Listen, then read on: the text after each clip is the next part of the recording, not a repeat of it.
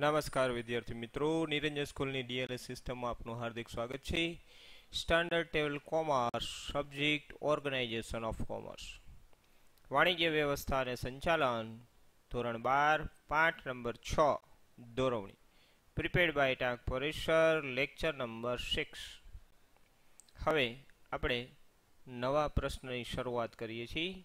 પ્રશ્ન નંબર ચાર ગઈકાલે આપણે પૂરો કર્યો. પ્રશ્ન નંબર પાંચ છે અભિપ્રેરણનો અર્થ આપી અભિપ્રેરણની લાક્ષણિકતા જણાવો. તો આના માટે મેં બહુ સરસ બધી સ્લાઇડો બનાવેલી છે. વિદ્યાર્થી મિત્રો, ધ્યાનથી આ બધી બાબતો સાંભળજો અને આમાં પિક્ચર દ્વારા જે મેં તમને સમજાવેલું છે, એ થોડુંક વધારે ડીપમાં સમજાયું છે. જેથી કરીને તમે પણ કોઈ કાર્યની શરૂઆત કરશો તો એ કાર્યમાં પણ તમને મદદરૂપ થશે. તો આપણે શરૂઆત કરીએ છીએ પ્રસ્તાવનાથી. સૌપ્રથમ અભિપ્રેરણનો ની પ્રસ્તાવના વિશેની માહિતી મેળવીએ. અભિપ્રેરણને કહેવામાં આવશે મોટિવેશન અભિપ્રેરણ એટલે વ્યક્તિની અંતર્ગત એક એવું તત્વ કે જે વ્યક્તિને કાર્ય કરવા માટે પ્રોત્સાહિત કરે. કહેવાનો અર્થ અહીંયા એમ છે કે કોઈ પણ વ્યક્તિ જે કાર્ય સાથે જોડાયેલો છે એજ્યુકેશન સાથે જોડાયેલો હોય, પોતાની જોબ સાથે જોડાયેલો હોય, કે પોતાના બિઝનેસ સાથે જોડાયેલો, એ પોતાના કાર્ય કરવા માટે એને અંદરથી જ એવું પ્રોત્સાહન મળતું હોય, તો એને આપણે અભિપ્રેરણ કહેવામાં આવે છે. કાર્ય કરવાની ઈચ્છા અને કાર્ય કરવાની ક્ષમતા બંને વચ્ચે અંતર છે. બરાબર? કાર્ય કરવાની ઈચ્છા અને કાર્ય કરવાની ક્ષમતા બંને વચ્ચે અંતર છે. કર્મ, કર્મચારી પાસે કાર્ય કરવાની ઈચ્છા હોય, પરંતુ કાર્ય કરવાની ક્ષમતા ન હોય. એવું બની શકે. એટલે કે, જ્યારે પણ કર્મચારી જો કંઈ કામ કરતા હોય, પરંતુ એ કાર્ય કરવા માટે એ પોતે ઈચ્છા ધરાવે છે, પણ ક્ષમતા નથી એનામાં. તો સંચાલનના ઉદ્દેશો સિદ્ધ ન થઈ શકે એવું કહી શકીએ આપણે. હવે આપણને તમારા, તમારું જ એક ઉદાહરણ લઈએ છીએ કે ભાઈ તમને જોબ આપેલી છે. તમને ભવિષ્યમાં જોબ આપેલી હોય કે ભાઈ તમારે માર્કેટિંગ કરવાનું. તો તમને કામ કરવાની ઈચ્છા છે, પરંતુ કેવી રીતે માર્કેટિંગ કરવું એની ક્ષમતા નથી. તો સંચાલનનો ઉદ્દેશ છે કે ભાઈ વેચાણ વધારવું એ ક્યારેય શક્ય બનતું નથી. ઉત્પાદન પ્રક્રિયા સાથે સંકળાયેલા બધા જ સાધનોમાં માનવી જ એક એવું સાધન છે કે જે ઉત્પાદનમાં વધારો શક્ય બનાવે. ઉત્પાદનની પ્રક્રિયામાં ઘણા બધા યંત્રો છે, પણ યંત્રો સાથે માનવી પણ છે અને આ માનવી જ એક એવો વ્યક્તિ છે કે જે ગમે એવી કદાચ ખરાબ પરિસ્થિતિ હોય તો પણ ઉત્પાદનમાં ખૂબ વધારો કરી શકે એવું માનવી તત્વ છે. માનવી એક જીવન સાધન છે, તેનામાં વિશિષ્ટ શક્તિઓ અને કાર્યસૂચ છે. જેથી કાર્ય પ્રેરણા આપવી જરૂરી છે. માનવી જીવન સાધન છે, એને આગળ વધારવા માટે, એની કાર્યસૂઝને કામે લગાડવા માટે, એની શક્તિઓને કામે લગાડવા માટે એને કાર્ય પ્રેરણા વારંવાર આપવી પડશે. નહીતર, કર્મચારી પોરા, પોતાની પૂરી કાર્યક્ષમતાથી કામ કરી શકશે નહીં, એવું આપણે કહી શકીએ છીએ. હવે, આમાં પેરેગ્રાફને યાદ કરવા માટે તમારે કયા શબ્દો યાદ રાખવાના? તો શબ્દ છે, કાર્ય કરવા માટે પ્રોત્સાહિત કરે. બીજું, બંને વચ્ચે અંતર છે, એ શબ્દ યાદ રાખવાનું. ત્રીજું છે, વિશિષ્ટ શક્તિઓને કાર્ય હોય છે, જેથી તે કાર્ય પ્રેરણા આપવી જરૂરી છે. હવે આગળ સમજીએ આપ. કે અભિપ્રેરણ એક વિસ્તૃત ખ્યાલ છે, જેમાં માનવીઓ કામ કરે, ત્યાં અભિપ્રેરણનું કાર્ય જરૂરી બને. અભિપ્રેરણ માટેના પ્રેરકોમાં નાણું, બિન નાણાકીય પ્રોત્સાહન, સગવડો અને વણ સંતોષાયેલી જરૂરિયાતો. આ બરાબર ધ્યાન રાખજો. અને આ બાબત સમજજો બરાબર. કે કોઈને તમારે પ્રોત્સાહિત કરવા છે તો નાણું, પૈસા આપવાના થાય. જેમાં આપણે કર્મચારીને આપીએ તો ભાઈ બોનસ, નાણાકીય પ્રોત્સાહન. બીજું, બિન નાણાકીય પ્રોત્સાહન. કાયમી નોકરીમાં રાખીએ છીએ, નોકરીમાંથી કાઢતા નથી. અઠ્ઠાવન વર્ષ સુધી, જ્યાં સુધી રિટાયર ન થાય ત્યાં સુધી. બિન નાણાકીય પ્રોત્સાહન, કાયમી નોકરી. સગવડો, એને રહેવા માટેનું મકાન, રહેઠાણ, વણ સંતોષાયેલી જરૂરિયાત, સારું કામ કરે તો કર્મચારીને કાર ગિફ્ટ આપવામાં આવે કંપની તરફથી. મોટે ભાગે માર્કેટિંગ વિભાગમાં હોય છે. તો તમે વિચાર કરો, અભિપ્રેરણ માટે આ બધી વસ્તુ પ્રેરક છે. તમે એને નાણું આપો, બિન નાણાકીય પ્રોત્સાહન આપો. સગવડોમાં વધારો કરો અથવા વણ સંતોષાયેલી જરૂરિયાત જ્યારે તમે એને પૂરી કરો છો એની, ત્યારે એ અભિપ્રેરિત થશે, જેને આપણે અભિપ્રેરણ કહેશું. આમાં યાદ રાખવાનું છે તમારે, જ્યાં માનવીઓ કામ કરે છે ત્યાં. નાણું, બિન નાણાકીય પ્રોત્સાહન, સગવડો, વણ સંતોષાયેલી જરૂરિયાતો. હવે તમને વધુ સમજાય એટલા માટે મેં અહીંયા રતન ટાટાનું એક ઉદાહરણ લીધું છે. જો ધ્યાનથી જો એમાં શું લખેલું છે? કે તમે ઊંઘતા હોવ ને તમારી કમાણી ચાલુ રહે, એવો કોઈ ઉપાય નહીં શોધો તો જિંદગીના અંત સુધી કામ જ કરવું પડશે. ટૂંકમાં અહીંયા એક રોયલ્ટી ઇન્કમની વાત છે. રોયલ્ટી ઇન્કમ કહી શકીએ કે ભાઈ એક વખત તમે કામ કરેલું ઘણા બધા એવા વ્યક્તિ હોય છે માર્કેટિંગ ફિલ્ડમાં હોય, એને કમિશન મળતું હોય, પણ જ્યાં સુધી એ લોકો જે પૈસા ભરે ત્યાં સુધી એને કમિશન મળે. તો અહીંયા એવું કહેવા માગે છે કે ભાઈ તમે એવું કરો, એવું કામ કરશો કે તમે ઊંઘતા હો તમે આરામ કરતા હોય, પણ તમારી કમાણી તો ચાલુ જ રહી. તમારી કમાણીમાં કાંઈ ફેર પડશે તમે જોયું હશે, ઘણા બધા જોબ કરતા હશે, નોકરી કરતા હશે, એની અંદર એને નોકરીએ જાય તો પગાર મળે. ન જાય તો પગાર કપાઈ જાય. પણ તમારે એવો એક ઉપાય કરવો પડશે, એવું એક વધારાનું કામ કરવું પડશે, એવું વધારાની જોબ કરવી પડશે કે જેમાં તમે કામ કરો છો, એની રોયલ્ટી વર્ષો સુધી ચાલુ રહીએ. તમે કામ ન કરો તો પણ. તો આ રીતે આ જે સમજાવે છે એના આધારે તમને ઘણું બધું અભિપ્રેરણ મળે, તમને પ્રેરણા મળે કે આવું કામ કરશું નહીં તો ચાલશે નહીં. તો આવા આપણા ઇન્ડસ્ટ્રીઝ રતન ટાટાએ કહેલું છે. હવે આપણે સમજીએ અર્થ, અભિપ્રેરણનો અર્થ. સામાન્ય અર્થમાં કર્મચારીઓમાં વધુ કાર્ય કરવાની પ્રેરણા જગાવી અને તેમને મહત્તમ કાર્ય સંતોષની ઉપલબ્ધિ કરાવી એટલે અભિપ્રેરણ. સામાન્ય અર્થમાં જો આપણે જોઈએ એક માર્કમાં આપણને પૂછાય તો અહીંયા લખવાનું છે આપણે. કે ભાઈ અભિપ્રેરણા એટલે? તો કે કર્મચારીઓમાં વધુ કાર્ય કરવાની પ્રેરણા જગાવી કામ તો બધા કરતા જ હોય આઠ કલાક સુધી. પણ આઠની બદલે દસ કલાક સુધી કરે. કદાચ આઠ કલાક સુધી કરતા હોય તો એ વધુ સારું કાર્ય કરે. આવું જો તમે કરી શકતા હોય, એવી પ્રેરણા તમે એને આપી શકતા હોય તો એને અભિપ્રેરણ કહેવામાં આવે છે. બીજું છે અર્થમાં કે ભાઈ ઈચ્છિત કાર્યને પાર પાડવા પોતાને કે બીજાને પ્રેરણા આપવાની પ્રક્રિયા એને પણ અભિપ્રેરણ કહેવામાં આવે છે. ઈચ્છિત કાર્ય પૂરું કરવું તો પોતાને પ્રેરણા આપે અથવા બીજાને આપે તો પણ અભિપ્રેરણ જ કહેવામાં આવશે. હવે આમાં શબ્દો યાદ રાખવાના, વધુ કાર્ય કરવાની પ્રેરણા જગાવી, ઈચ્છિત કાર્યને આવા શબ્દો યાદ રાખજો. અને આના માટે પણ મેં તમને એક ચિત્ર દ્વારા સમજાવેલું છે. જુઓ.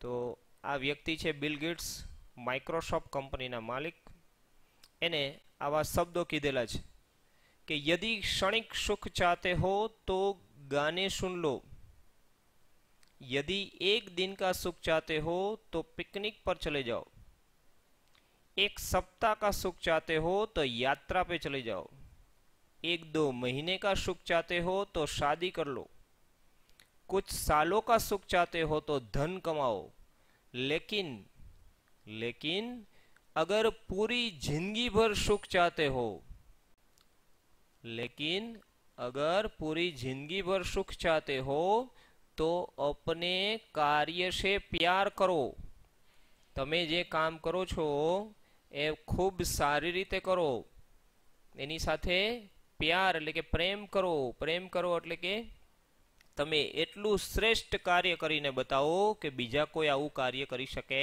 નહીં. તો વિચાર કરો માઇક્રોસોફ્ટ કંપનીના માલિક બિલ ગેટ્સ જેની કદાચ આવક આપણે મિનિટ કે સેકન્ડમાં આવતી હોય અને એ વ્યક્તિ જો આવું સ્ટેટમેન્ટ આપે તો આપણને કેટલું બધું અભિપ્રેરણ, પ્રેરણા મળે કાર્ય કરવા માટે. તો આવી રીતે તમે જ્યારે કોઈને કાર્ય કરવા માટે પ્રેરણા આપો છો તો એને અભિપ્રેરણ કહેવામાં આવે છે. હવે બીજા પણ અર્થ છે. તો એમાં એવું કહેવામાં આવે છે કે અભિપ્રેરણ એ મનની એવી સ્થિતિ છે કે જે કર્મચારીઓને લક્ષ્ય તરફ દોરી જાય. પછી છે કે આના ઉપરથી આપણે એમ કહી શકીએ કે અભિપ્રેરણ એ શું? તો કે ભાઈ કર્મચારીને પ્રોત્સાહન આપી અપેક્ષિત ધ્યેય પ્રાપ્ત કરવાની પ્રક્રિયા. તો એના માટે પણ મેં એક ફોટોગ્રાફ્સ બતાવ્યો છે તમને. ધ્યાનથી જોજો કે જેટલા પણ અહીંયા વ્યક્તિઓ તમને ફોટામાં દેખાય છે, તો એકબીજાને સહકાર આપે. પણ એ ક્યારે બની શકે? જો તમે એને પ્રોત્સાહિત કરેલા હોય તો, નહીતર એકબીજાને સહકાર નહીં આપે અને કંપનીના ધ્યેય પૂરા થશે નહીં. તો અભિપ્રેરણ એ ખૂબ મહત્વની બાબત છે. કોઈ પણના વ્યક્તિગત જીવન માટે અથવા કર્મચારી માટે હવે આપણે આગળની બાબત સમજીએ. અભિપ્રેરણની લાક્ષણિકતાઓ. તો આપણે અગાઉ પ્રશ્નમાં લીધું એમ પહેલાં એક એક મુદ્દા જોતા જાય. મુદ્દા નંબર એક છે આંતરિક પ્રેરણા. મુદ્દા નંબર બે છે મનોવૈજ્ઞાનિક ખ્યાલ. મુદ્દા નંબર ત્રણ છે કર્મચારીઓની કાર્યક્ષમતામાં વધારો. મુદ્દા નંબર ચાર છે વિશાળ ક્ષેત્ર. મુદ્દા નંબર પાંચ છે, સતત પ્રક્રિયા. મુદ્દા નંબર છ છે, ઉદ્દેશોની પ્રાપ્તિ. મુદ્દા નંબર સાત છે, સહયોગ પ્રાપ્ત કરવાનું સાધન. મુદ્દા નંબર આઠ, પરિવર્તનશીલ વ્યવસ્થા તંત્રને અનુરૂપ. મુદ્દા નંબર નવ, હકારાત્મક અભિગમ. અને મુદ્દા નંબર દસ, ફેર બદલી દરમાં ઘટાડો. આવા દસ મુદ્દાઓને આપણે કહીશું અભિપ્રેરણની લાક્ષણિકતા. હવે આપણે આના ઉપરથી દર વખતે સૂત્ર બનાવી એ પ્રમાણે જોતા જાય. તો પહેલામાં પ્રે અને બીજામાં આવશે મ, ત્રીજામાં આવશે કા, ચોથામાં આવે છે વી, પાંચમામાં આવે છે શ, છઠ્ઠામાં આવે છે ઉ, સાતમામાં આવે શ, આઠમામાં આવે પ, નવમામાં આવે અભી અને દસમામાં આવે ફેર. આ શબ્દોથી આપણે સૂત્ર બનાવેલું છે જોજો. સૂત્ર આવું બને છે. પેલા બે શબ્દ ભેગા કર્યા. પ્રેમ. પછી કા. પછી બે શબ્દ ભેગા કર્યા. વિષ. પ્રેમ કા વિષ. પછી ઉષ. પ્રેમ કા વિષ. ઉષ. પરિવર્તનશીલમાં પ. તો પ્રેમ કા વિષ. ઉષ્પ. અભિફેર. પ્રેમ કા વિશ ઉસ પ અભી ફેર. આવું સૂત્ર તમે યાદ રાખી અને એના આધારે મુદ્દા લખી શકશો. હવે મારી સાથે તમે બોલજો. પ્રેનો અર્થ થાય છે આંતરિક પ્રેરણા. મનો અર્થ થાય છે મનોવૈજ્ઞાનિક ખ્યાલ. કનો અર્થ થાય છે કર્મચારીઓની કાર્યક્ષમતામાં વધારો. વીનો અર્થ થાય છે વિશાળ અથવા વિસ્તૃત ક્ષેત્ર. શનો અર્થ થાય છે સતત પ્રક્રિયા. ઉનો અર્થ થાય છે ઉદ્દેશોની પ્રાપ્તિ, શનો અર્થ થાય છે સહયોગ પ્રાપ્ય કરવાનું સાધન, પનો અર્થ થાય છે પરિવર્તનશીલ વ્યવસ્થા તંત્રને અનુરૂપ, અભિનો અર્થ થાય છે હકારાત્મક અભિગમ અને ફેરનો અર્થ થાય છે ફેર બદલી દરમાં ઘટાડો. હવે, આ મુદ્દાઓને વિસ્તૃત રીતે આપણે સમજીએ છીએ. મેં વિદ્યાર્થી મિત્રો હજી એક વખત હું તમને વિનંતી કરું છું કે મેં જેટલા પણ આમાં મુદ્દાઓ લીધા છે, એ બધામાં વિસ્તૃત તમે તમારા એજ્યુકેશનમાં પણ તમને ફાયદો થાય.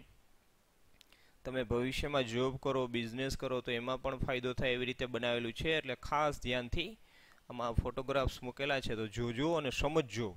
તમને ખૂબ કામ આવશે. પેલું આવે છે અભિપ્રેરણા, એટલે શું? તો કે ભાઈ આંતરિક પ્રેરણા. અભિપ્રેરણા એક એવું બળ કે શક્તિ છે કે જે માનવીની અંદરથી ઉદ્ભવે. જરૂરિયાત એવી લાગણી છે જેના દ્વારા માનવીને લાગે છે કે તેના જીવનમાં કંઈક ખૂટે છે અને તે પૂરી કરવા તેને પ્રેરણા મળે તો માનવી નિશ્ચિત પ્રવૃત્તિ તરફ દોરાય છે. એટલે કે અભિપ્રેરણ એ હકીકતે આપણી શક્તિ આપણા શરીરમાં છે જ એવી. પ્રેરણા ઓલરેડી છે જ, કોક જગાવે. તો એવી જરૂરિયાત જો આપણા જીવનમાં કાંઈ આવે, પછી નાણું હોય બિન નાણાકીય હોય, બીજી કોઈ વાત હોય, તો એના દ્વારા માનવીને લાગે છે કે આ જીવનમાં મારે કંઈક ખૂટે છે અને તે પૂરી કરવા તેને પ્રેરણા મળે અને એ પૂરી કરીને રહીએ, ગમે એવી ખરાબ પરિસ્થિતિ આવે તો પણ, તો એને આપણે અભિપ્રેરણ તરીકે ઓળખીએ અને એને કહેવામાં આવશે આંતરિક પ્રેરણા. તો હવે સમજીએ. એક તમને બોલિવૂડ ફિલ્મનું જ ઉદાહરણ આપું છું. કે ફિલ્મનું નામ છે ચક દે ઇન્ડિયા. એની અંદર એક કોચ તરીકે બતાવવામાં આવે છે શાહરૂખ ખાન. પોતે ખેલાડી તરીકે ફિલ્મમાં એવું બતાવે છે કે ભાઈ ખેલાડી તરીકે પોતે રહ્યા હતા પણ ત્યારે કોઈ કારણોસર મેચ હારી જાય છે અને બધા એને ખરાબ નજરેથી એટલે કે એ ગદ્દાર છે એવું કહેવામાં આવે. તો એ સાબિત કરવા માટે એ શું કરે છે? પોતે સાત વર્ષ સુધી રાહ જોવે છે. અને પછી મહિલા ટીમના પોતે કોચ બને છે. કોચ એવા બનીને દેખાડે છે કે વર્લ્ડ કપ જીતાડીને દેખાડે. જે અત્યાર સુધીમાં કોઈ કદાચ કરેલું નહોતું. ફિલ્મમાં બધી કાલ્પનિક બાબતો છે, પણ આની અંદર એક એવી આંતરિક પ્રેરણા એને એવું લાગે છે કે મારા જીવનમાં કંઈક ખૂટે છે, એ પૂરું કરવા માટે પોતાને એટલી પ્રેરણા મળી અને પોતે એટલા પ્રેરિત થયા કે એ પોતે વર્લ્ડ કપ જીતાડીને દેખાડે છે. તો આને કહેશું આંતરિક પ્રેરણા? આ એક ઉદાહરણ દ્વારા તમને સમજાવવાનું હતું, તમને સમજાણું હશે. બરાબર? તો હવે આ મુદ્દામાં કયા શબ્દો યાદ રાખવાના એ જુઓ. પેલું આવે છે, જીવનમાં કંઈક ખૂટે છે તે પૂરું કરવા. અને બીજું આવે છે, નિશ્ચિત પ્રવૃત્તિ. આ બે શબ્દોના આધારે તમે પેરેગ્રાફ લખી શકશો. હવે જો મુદ્દા નંબર બે, મનોવૈજ્ઞાનિક ખ્યાલ. અભિપ્રેરણનો ખ્યાલ એ મનોવૈજ્ઞાનિક છે. આપણે અંગ્રેજીમાં કહી સાયકોલોજી દરેક વ્યક્તિના માનસિક ખ્યાલો જુદા જુદા હોય છે, તેથી દરેક વ્યક્તિને આંતરિક પ્રેરણાની જરૂરિયાત પણ જુદી જુદી હોય. બધા પોતપોતાની રીતે અલગ અલગ માનસિક ખ્યાલો ધરાવે છે, કામ કરવા માટે, જોબ કરવા માટે, બિઝનેસ કરવા માટે. માટે જ કોઈ બિઝનેસમાં નંબર વન છે, કોઈ દસમા નંબરે છે, કોઈ જોબમાં નંબર વન છે, કોઈ દસમા નંબરે છે, આવું આપણે કહી શકીએ, કારણ કે બધાના માનસિક ખ્યાલ જુદા છે, બધાની જરૂરિયાત પણ જુદી છે. એટલા માટે અભિપ્રેરણને મનોવૈજ્ઞાનિક ખ્યાલ પણ કહેવામાં આવે. એમાં પણ મેં તમને એક ચિત્ર બતાવેલું છે, જુઓ. તમને એનું નામ આપણે કહી શકીએ ડાર્ક સાયકોલોજી. આપણા મગજની અંદર આ એક મનોવૈજ્ઞાનિક ખ્યાલ છે. અને મનોવૈજ્ઞાનિક ખ્યાલ આપણી જરૂરિયાત ઉપરથી ઉદ્ભવે. આપણે તો પ્રેરિત થાય કે આપણી કોઈ એવી જરૂરિયાત છે કોઈ આપણને બતાવે અને આપણે પ્રેરિત થઈએ છીએ એટલા માટે જ બધા પ્રેરિત થતા નથી. અમે તમારા માટે આ સ્લાઇડ ને બધું બનાવ્યું, ખૂબ મહેનતથી, ખૂબ ફોટોગ્રાફ્સ ને બધું ગૂગલ ઉપરથી ને એમાંથી વ્યવસ્થિત ગોતીને બનાવેલું છે. તો કહેવાનો અર્થ એ કે તમને એજ્યુકેશન પર્પસે વધુ સમજાય એટલા માટે. તો આ એક મને પ્રેરણા મળેલી. મારો મનોવૈજ્ઞાનિક ખ્યાલ છે. તમે એમાંથી કેટલું સમજો છો એ તમારો મને મનોવૈજ્ઞાનિક ખ્યાલ ગણાશો. તો માનસિક ખ્યાલ બધાના જુદા હોય છે એવું કહી શકે હવે, દરેક વ્યક્તિની આંતરિક પ્રેરણાની જરૂરિયાત જુદી જુદી હોય છે એ શબ્દ યાદ રાખીને તમે લખી શકશો. મુદ્દા નંબર ત્રણ જુઓ. કર્મચારીઓની કાર્યક્ષમતામાં વધારો. અભિપ્રેરણ દ્વારા કર્મચારીને વધુ ઉત્પાદન કરવા માટે પ્રોત્સાહિત કરી શકાય. અભિપ્રેરણથી તેમના નૈતિક જુસ્સામાં વધારો પણ થાય છે. તેની ઉત્પાદકતા અને કાર્યક્ષમતામાં વધારો કરે છે, જેથી એકમની નફાકારકતા પણ વધે છે. જેમ તમે કંપનીની અંદર કર્મચારીને વધુ પ્રોત્સાહિત કરો, તેમ તેને નૈતિક જુસ્સો વધે, ઉત્પાદકતામાં અને પોતાની કાર્ય કરવાની ક્ષમતામાં તે વધારો કરે અને નફામાં પણ વધારો જોવા મળે છે. એવું કહી શકીએ છીએ. અભિપ્રેરણ દ્વારા આવું શક્ય બની શકે. તો એમાં પણ એક મેં તમને ફોટો દ્વારા સમજાવેલું છે કે જ્યારે તમે એને અભિપ્રેરિત કરો છો, તો દરેક કર્મચારી એટલા બધા હસમુખ અને એટલા બધા રાજી થઈ જાય અને એટલા બધા જુસ્સામાં આવી જાય. તો એ શું થયું? નૈતિક જુસ્સામાં વધારો. એને કારણે એ શું કરશે? વધુ સારું કાર્ય કરે, વધુ ઉત્પાદન કરે, ઉત્પાદકતા વધે, કામ કરવાની ક્ષમતા વધી જાય અને કંપનીનો નફો વધે એવું આપણે કહી શકીએ. તો આની અંદર શબ્દ યાદ રાખવાનું. નૈતિક જુસ્સામાં વધારો થાય તેની ઉત્પાદકતા અને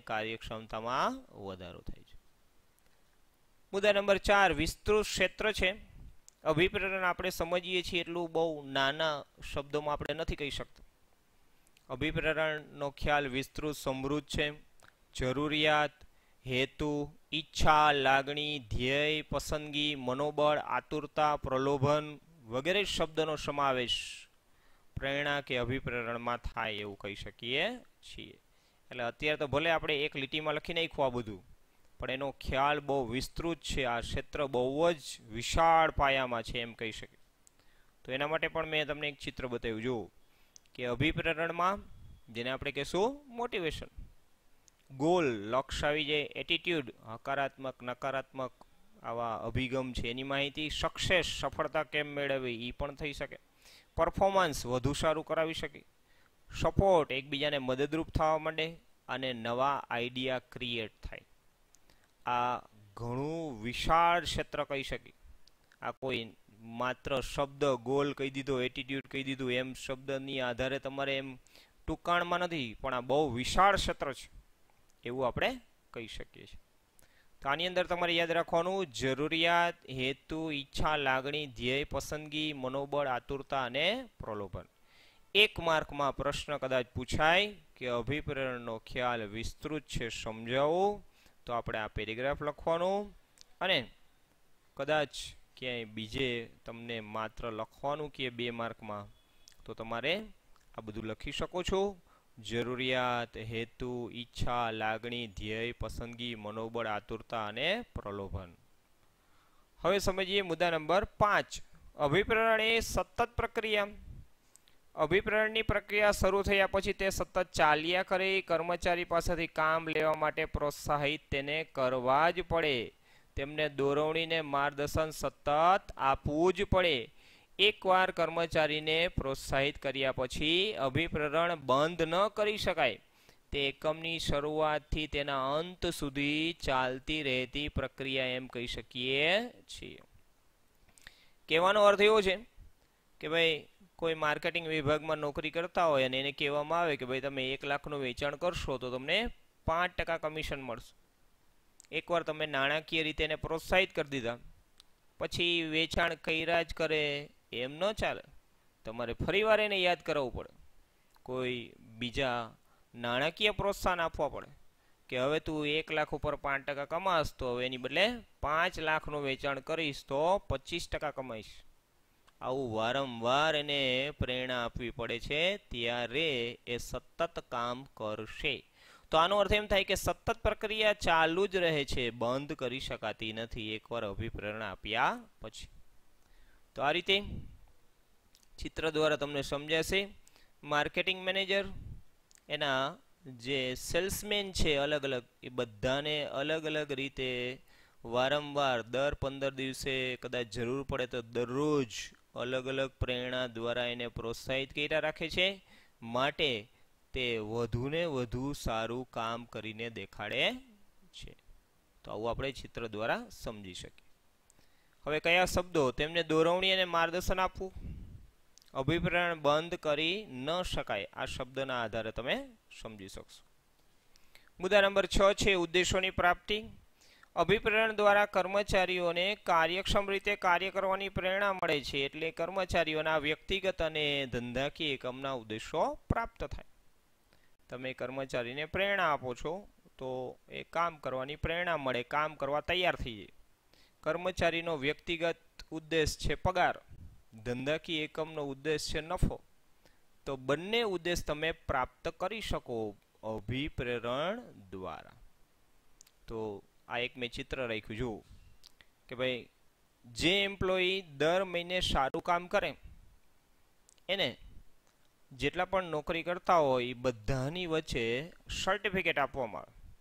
અને એના ઉપર લખેલું હોય છે એમ્પ્લોયી ઓફ ધ મંથ પછી જે કર્મચારી સારું કામ કર્યું, એનું અહીં નામ લખવામાં આવે. એના જે કંપનીના માલિકો છે, એ સહી કરે, તારીખ લખે અને પછી બધાની વચ્ચે સન્માનિત કરે. તો આ શું થયું? કાર્ય કરવાની પ્રેરણા મળી. તો એને કારણે એનો વ્યક્તિગત ઉદ્દેશ પૂરો થઈ ગયો. મને સન્માનિત કરવામાં આવેલા છે, સો જણા વચ્ચે, પચાસ જણા વચ્ચે. ખૂબ જ ઉત્સાહી થશે. બીજા કર્મચારી જોશે, એને પણ કામ કરવાની ઈચ્છા થશે, વધુ સારું કામ કરવું મને પણ સર્ટિફિકેટ મળે. ધંધાકીય એકમના ઉદ્દેશો પણ પૂરા થાય. તો આવું તમે પ્રેરણા દ્વારા, આવું અભિપ્રેરણ દ્વારા કરી શકો છો. કર્મચારીના વ્યક્તિગત અને ધંધાકીય એકમના ઉદ્દેશો બંને પ્રાપ્ત થઈ શકે છે. કોને કારણે? મોટિવેશન, અભિપ્રેરણ દ્વારા. આમાં શબ્દ યાદ રાખવાનો, કાર્યક્ષમ રીતે કાર્ય કરવાની પ્રેરણા. મુદ્દા નંબર સાત, સહયોગ પ્રાપ્ત કરવાનું સાધન. કર્મચારીને અભિપ્રેરણ આપવાથી તેને કાર્ય સંતોષ મળે, પરિણામે તે ઉચ્ચ અધિકારીઓને સંપૂર્ણ સહયોગ આપે. તમે પ્રેરણા આપો છો તો એને કારણે કાર્ય સંતોષ મળશે કે મેં સારું કામ કર્યું. અને એને કારણે ઉચ્ચ અધિકારી જેટલા હશે એ બધાને ખૂબ જ સારી રીતે સહયોગ પ્રાપ્ત થાય. માગે કામ કરીને આપશે. તો આ ચિત્રમાં તમે ધ્યાનથી જુઓ કે એના ઉચ્ચ અધિકારીઓ જે છે, એના એમ્પ્લોયી છે, આ એમ્પ્લોયી એના ઉચ્ચ અધિકારીઓને હાથ મિલાવીને કહે છે કે ભાઈ હું સંપૂર્ણ સહયોગ આપીશ. પણ શા માટે? જેટલા ટેબલ ઉપર બેઠા દેખાય છે તમને, એ બધા શું છે? ઉચ્ચ અધિકારીઓ. અને આ બંને જે મહિલા ઊભા છે, એ લોકો કર્મચારી છે, એના એમ્પ્લોયી છે. તો એ સહયોગ આપવા માટે હસતા હસતા કામ કરશે, સંપૂર્ણ સહયોગ. પણ શા માટે? કારણ કે કર્મચારીને અભિપ્રેરણ આપેલું માટે કાર્ય સંતોષ મળ્યો. અને એને કારણે કોઈ પણ પ્રકારનો સહયોગ આપવા તૈયાર થશે.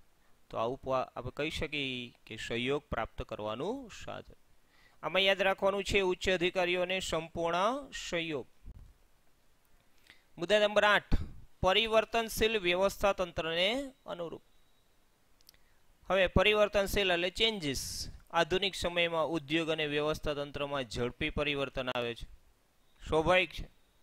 ઉત્પાદન, ટેકનોલોજી, કાચો માલ, અન્ય પ્રવૃત્તિમાં સતત ફેરફાર જોવા મળે.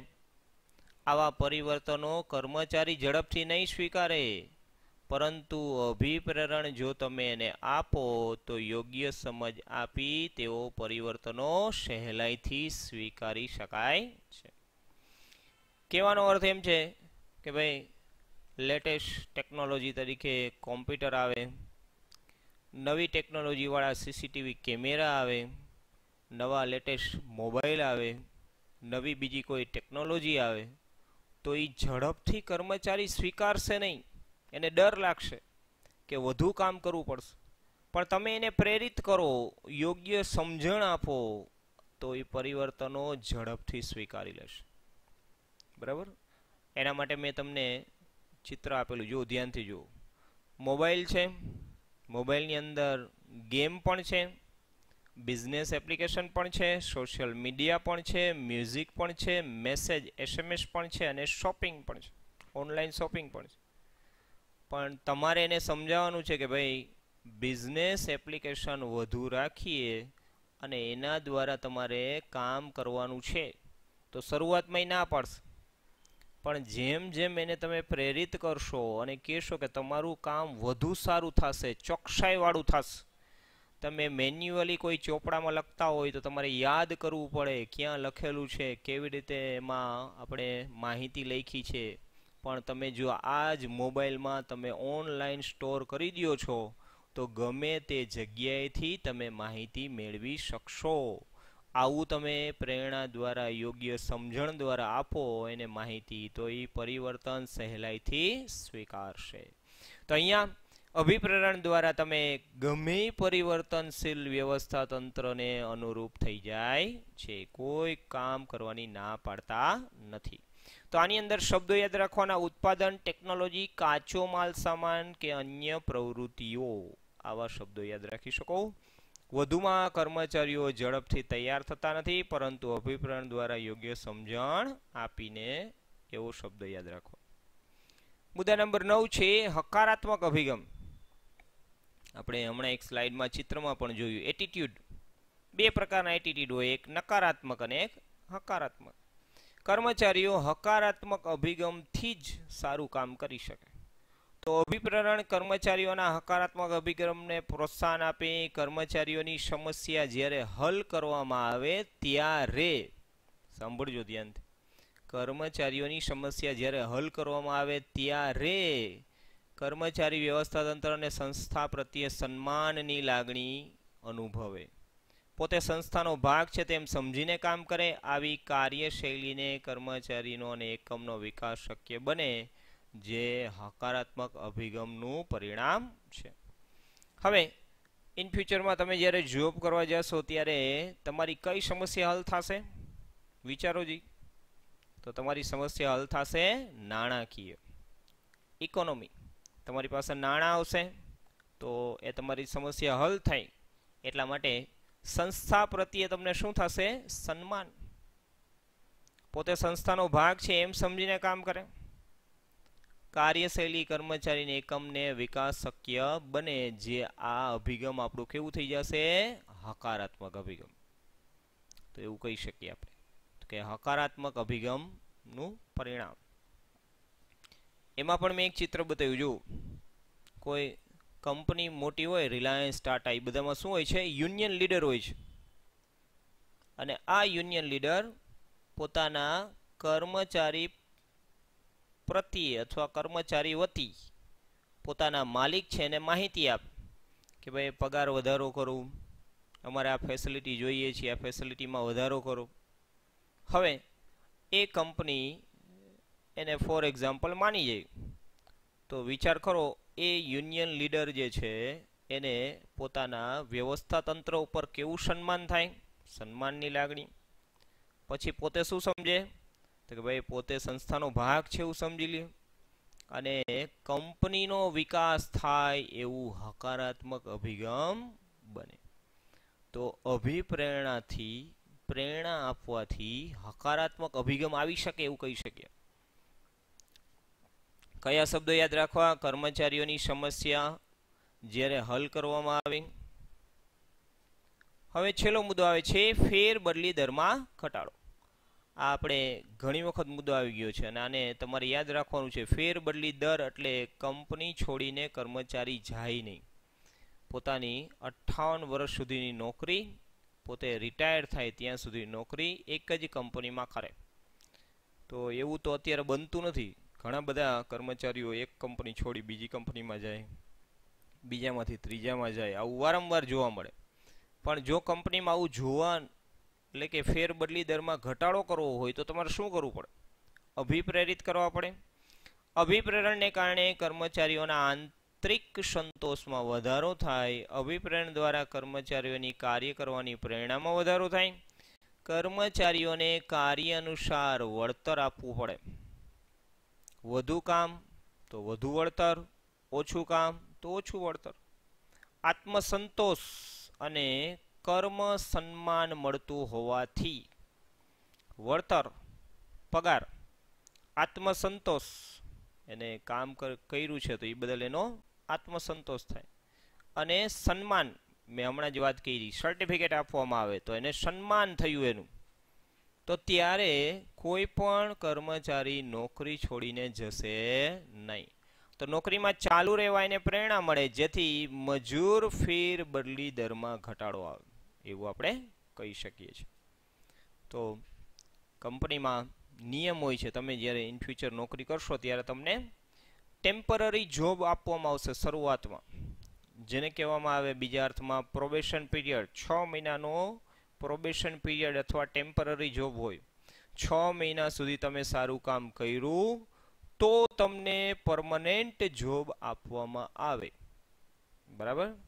તો જો આ છ મહિનામાં તમને સારું કામ કર્મચારી પાસે કરાવવું છે, તો વળતર, આત્મસંતોષ અને સન્માન મળશે. અને પરમનન્ટ જોબ જ્યારે ચાલુ થશે ત્યારે પણ એ જ રીતે જો એને સન્માનિત કરવામાં આવે તો ક્યારેય નોકરી છોડીને જશે નહીં એવું આપણે કહી શકીએ. તો આ રીતે વિદ્યાર્થી મિત્રો અહીંયા આપણે પ્રશ્નોનો જવાબ પૂરો કરીએ છીએ. મને વિશ્વાસ છે કે મેં તમને જે ચિત્રો દ્વારા સમજણ આપેલી છે, જે તમને કદાચ તમારા એજ્યુકેશન લેવલે તો કામ આવે જ, પણ ઇન ફ્યુચરમાં પણ ખૂબ ઉપયોગી થશે. આને બરાબર સમજજો. અને સમજી અને આ પ્રશ્નોનો જવાબ લખજો. પહેલાં એકવાર જોઈ જોઈને લખી નાખો. બીજી વખત મેં તમને સમજાવ્યું એ પ્રમાણે મુદ્દાના નામ, સૂત્ર અને જે જે લીટી કરાવેલી શબ્દો યાદ કરી કરીને બધા મુદ્દા તમે ખૂબ સારી રીતે લખી શકશો એવો મને વિશ્વાસ છે.